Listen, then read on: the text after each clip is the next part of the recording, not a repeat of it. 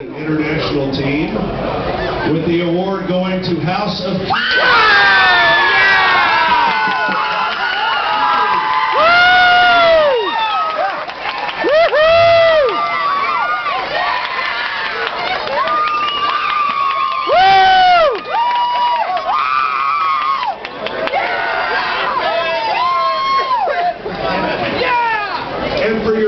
dessert, folks, that you're cooking, we've got a beautiful award from Emile or Emile Henry. Down here it's Emile Henry. It's a great oven dish, and a beautiful dessert would go perfectly in here. So, all right, what did you guys make?